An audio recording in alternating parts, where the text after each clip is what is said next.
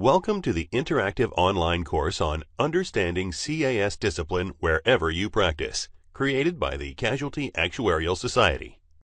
This course has been prepared to help CAS members to better understand the discipline process wherever in the world they practice. While the course is meant to help our members in their work, it should not be interpreted as authoritative guidance with respect to the code, standards of practice, or discipline.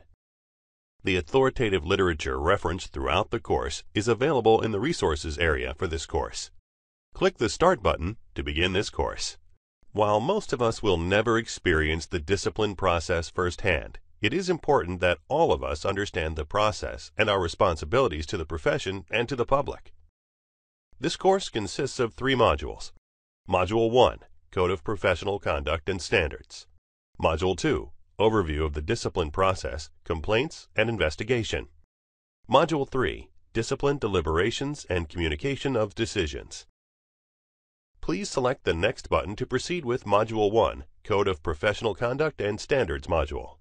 The focus of this course is to explain the importance of the Code of Professional Conduct and Standards. By the end of this course, you should be able to in Module 1, understand individual responsibilities under the Code of Professional Conduct.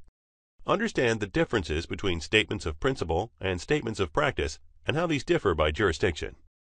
In Module 2, know how to make a complaint.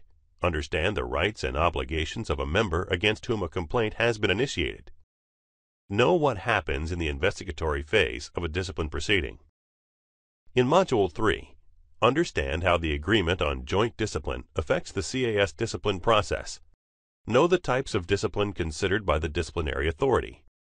Be aware of differing views with respect to the confidentiality of the discipline process.